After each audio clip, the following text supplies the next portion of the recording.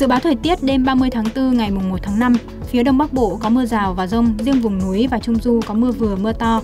Ngày mùng 1 tháng 5 trời chuyển mát, vùng núi chuyển lạnh, nhiệt độ từ 17 đến 28 độ. Phía Tây Bắc Bộ có mưa rào và rông, vùng núi có mưa vừa mưa to, nhiệt độ từ 17 đến 29 độ. Các tỉnh từ Thanh Hóa đến Thừa Thiên Huế có mưa rào và rông, cục bộ có mưa vừa mưa to, nhiệt độ từ 19 đến 27 độ. Các tỉnh từ Đà Nẵng đến Bình Thuận có mưa rào và rông, cục bộ có mưa vừa mưa to, nhiệt độ từ 23 đến 30 độ. Khu vực Tây Nguyên có mưa, mưa vừa và rông, cục bộ có mưa to, mưa rông tập trung vào chiều và tối, nhiệt độ từ 19 đến 29 độ.